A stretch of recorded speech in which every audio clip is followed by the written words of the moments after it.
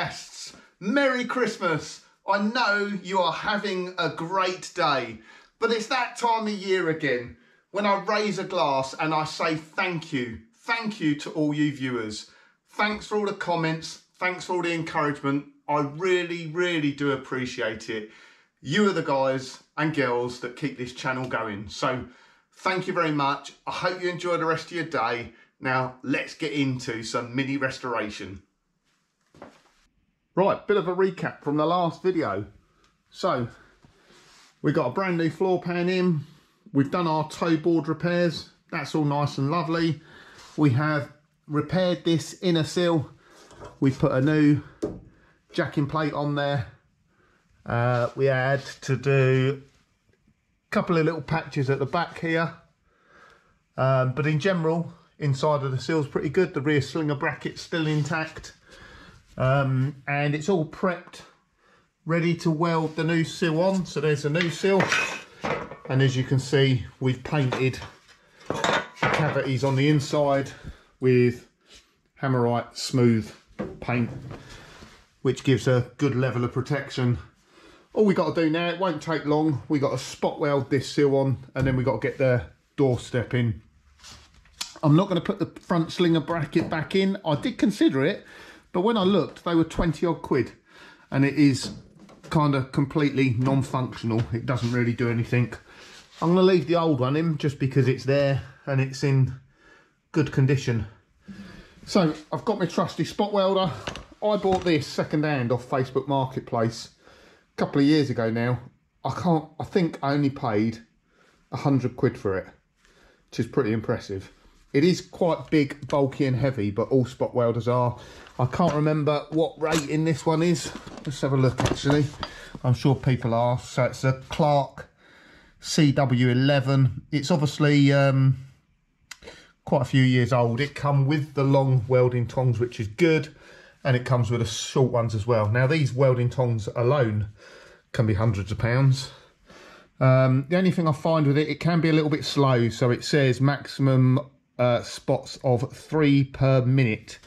Now, um, I sometimes I do, I do go over that. So yeah, minimum off time, 20 seconds, 20, 40, 60. Yeah, so three spots a minute you're only meant to do with that. Yeah, let's uh, let's get this sill on.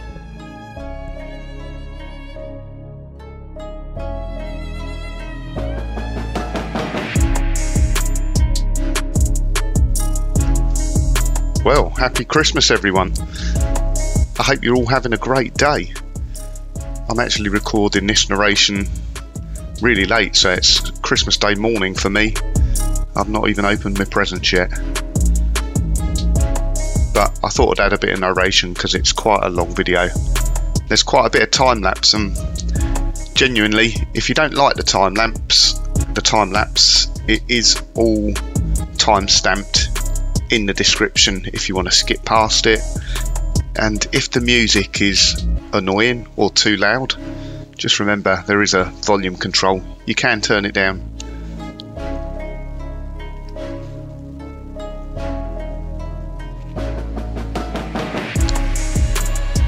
So this final bit of getting the actual sill on shouldn't take too long to be honest. Most of the work has been in the preparation and doing the repairs up until now.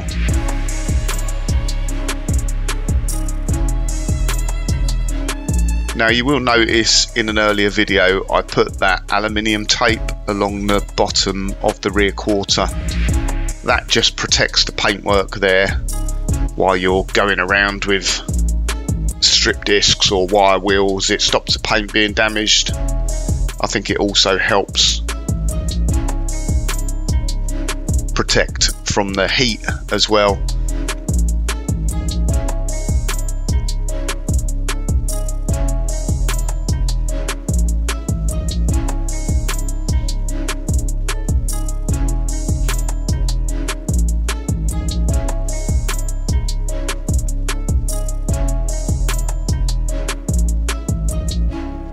So I'm quite pleased with how these sills have gone. It's been relatively straightforward up until now.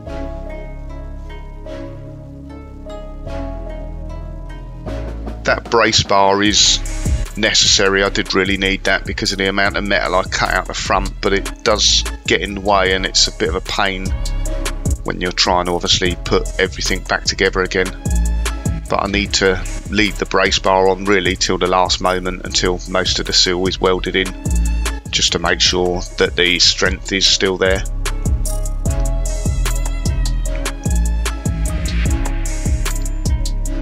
Did get asked in the comments in the last video about the spot weld drill I use. So it's a Sealey 8mm cobalt spot weld drill. I will stick a link in the description and I'll message that viewer back with the exact part number. I think it's AK something.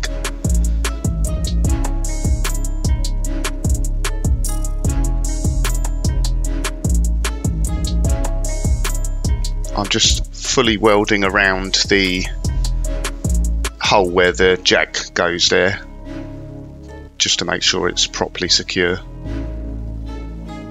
And just a little tip here, you'll see me propping up the bottom of the sill. That's to hold it close up to the inner sill so there's no gap. So when you're plug welding like this, if you get any gap between the two panels, it, it really makes it difficult to weld. So bit of a tip there, always make sure you've got good contact between the two panels and yeah, very little or, or no gap at all is best.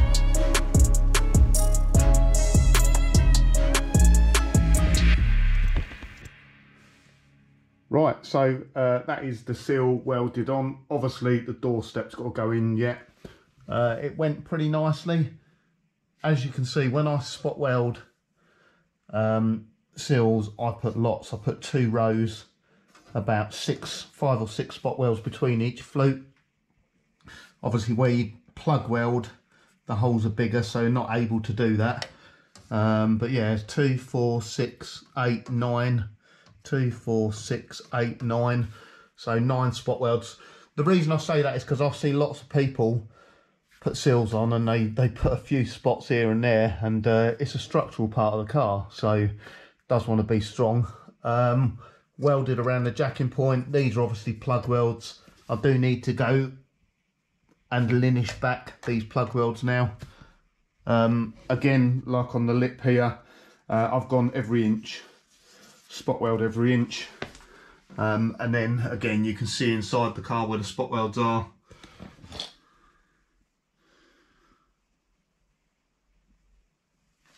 So all I need to do now is get that doorstep on. Now one bit to look out for, and I remember this on Sprout actually, and I didn't, well, what seems to happen is this sill at the front, it seems to go too far in. Um, and I remember on Sprout, I think I, I'd welded it all on and then I had to drill the welds back out again and pull it out because it, it just went in a little bit too far. I think looking at this, and I've, I've eyed up the doorstep on there, um, I think I might be all right, but it's just something to be conscious of. Um, because obviously the inside of that doorstep's got to meet that lip. Um, we've got the doorstep over here. It's just got weld through primer on at the moment. I need to wait for that to dry, mask off the weld through primer, and then I can um, put hammerite on it. Um, yeah. This is um, a Magnum panel. Probably not the best, but I got this panel for free off uh, a viewer, one chish, so we'll make some use of that. Save a few bob. Right, so we've got our repair step section ready to go back in. Again, that's been nicely hammerited on the inside now. I had to repair that end just because it had some slits in it. Um, so yeah, this should be relatively straightforward. However, I think I previously mentioned, I think maybe this sill was a little bit too far in that way. It's probably only going to be two or three mil. So I think I will probably tack it in place first and just make sure it's all right or there and thereabouts before I weld the whole lot in. So there's only one way to find out. It's just get stuck into it. Uh, just a bit of an explanation. I, I tend to get a, a, bit of stick every now and again about the choice of music on the videos. It is very, very difficult to find music that is the correct length for the bit of time lapse you're doing or the, the bit of video you're doing, and to find music that is royalty free. So I've used lots of music in the past which is meant to be copyright free, but what you tend to find is a few weeks or months down the line people putting copyright claim, claims, it, it can be quite frustrating. So it is quite limiting the choice of music you can use. So I do apologise sometimes if the music gets used over and over again. Now you so you see a, a obvious problem here, which is definitely more prominent on the videos. I hadn't really noticed it while I was welding that doorstep on, but there's a massive gap between the sill and the doorstep at the front there which I will explain why um, once the time lapse stops. But um, it's certainly now watching the video back more prominent than I thought it was.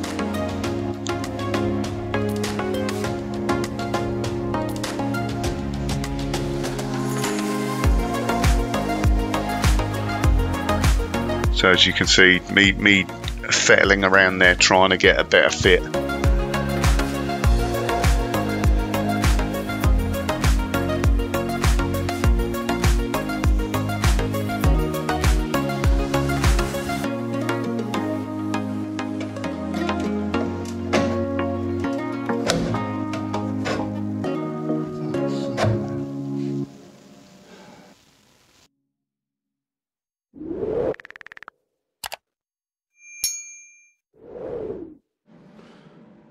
Right, hopefully I caught that on camera. So when you're spot welding, it is always worth, to begin with, when you're starting new spot welds, just to go along it afterwards and just make sure it definitely has taken because what can happen is you're just passing current between the two electrodes. So where the whole body's connected, where you're sort of spot welding this top bit with this bottom bit, obviously um, the easiest uh, path of least resistance for the current is just to go through the closest two bits of metal.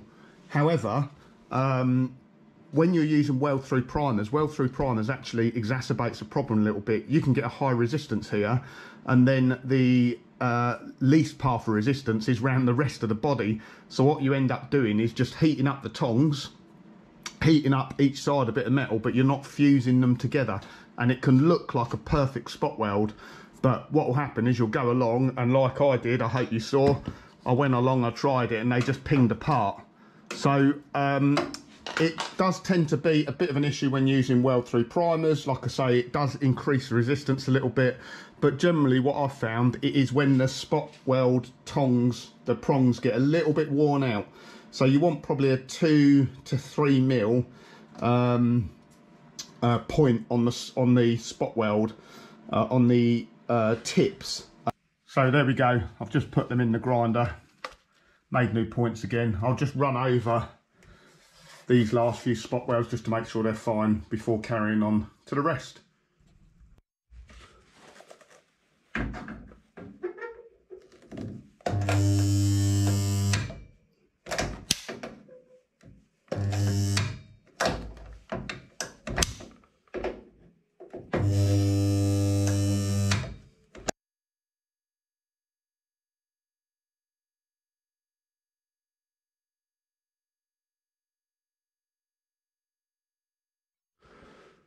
Okay, so that's all nicely welded on now. I'm getting more used to the spot welder actually. I, I can definitely see now where, I mean, it'd be hard to pick up on the camera, but I'm getting more used to spot welding and what to look for. So um, what I can see actually is where I've narrowed the tip and cleaned it up.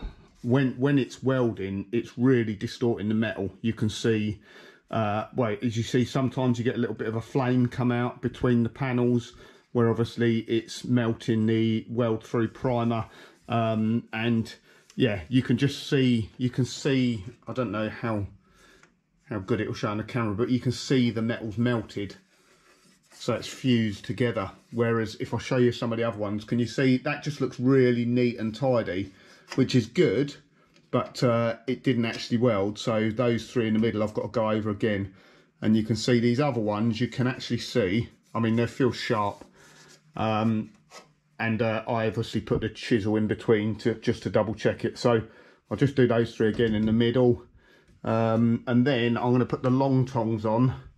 I need to just get this a few tacks in place and I think I'm going to take the strengthening bar out, finish that off and then actually before I go any further I think I'm going to put the door back on and just make sure this is all in the right place. I did have a bit of faff with the end piece here but that seems to have gone all right.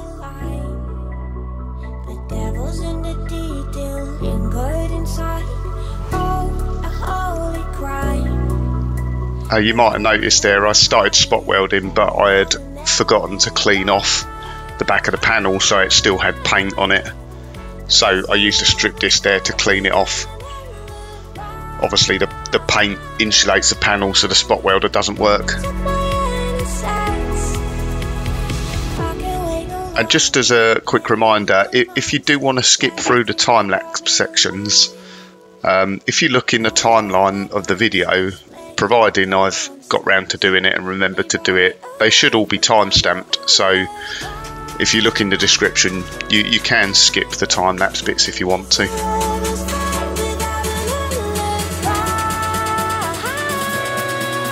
Now, just a word of caution here. Um, those tongs on the spot welder do get really really hot and you kind of forget about it. And because the spot welder is quite heavy you end up grabbing one of the tongs and burning your hand. So just be careful.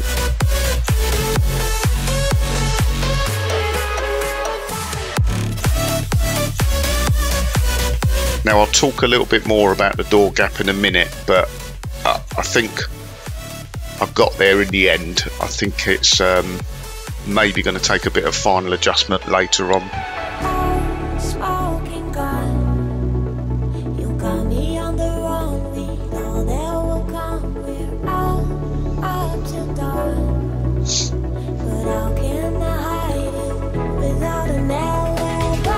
It is always worth if you've done any work on that sort of A post, the sills, the floors, hinge panel at the front there if you've got the door to hand, just pop it back on and make sure everything still lines up. Because the last thing you want to do is get the car all prepped or even all painted and then find out you've got issues. So, yeah, again, little tip there. If you're doing any work at the front there around that hinge panel or anything like that, or the you know doorstep or enclosure or anything like that, it's always worth just refitting the doors and just making sure that everything lines up and they fit. You'll see that quite a bit with Mark as well. He'll refit the doors back on just to check.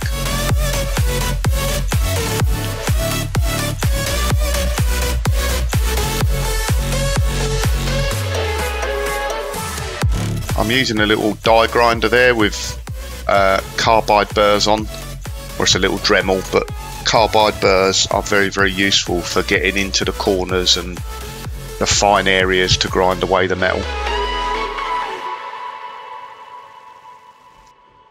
And that, folks, is the sill all done.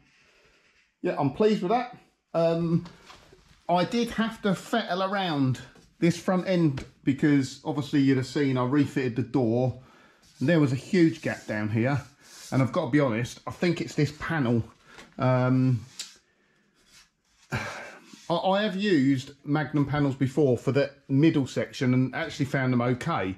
Um, and if you look at the profile, it's actually, it's pretty good at matching the old one. But as it goes towards the front here, so this, this here is, uh, it's over 90 degrees. The original panel is, it looks like 90 degrees. That's probably 100 degrees. 105 and then it gets larger and larger and larger as we go down here to the point it's probably 120 130 degrees down here now that might have been because I was bashing it about and manipulating it a bit um, but what it resulted in was a big gap between the bottom of the door and the sill line um, so to be honest I was thinking even if because I thought this sill was in too far. But even if it was further out, it's not going to be any further up. So, yeah, um, what I did in the end to kind of fix it for now, I've elongated the holes for the doors so I can move the door up and down. Now, obviously, if I move it down there, it means there's going to be a bigger gap at the top. Um, but I've still got to reskin that door yet. I've got to do more stuff to it. It just gives me a little bit more adjustment when it comes back together. It's probably not going to be 100% perfect, um, but it was, to be honest, it was comparable with the other side, the gap, once I'd adjusted on those hinges. So, um, yeah, really pleased. Obviously, we've got the new front floor pan there. This is all nicely welded in now. Uh, yeah, pretty pleased. It's quite a big job done that. I'm not gonna start on the other side yet. I think the next thing I'm probably gonna do is tackle this flitch panel here, repair here, prep the front end ready for a new front end, and then we'll turn it round and do it do the other side. Um,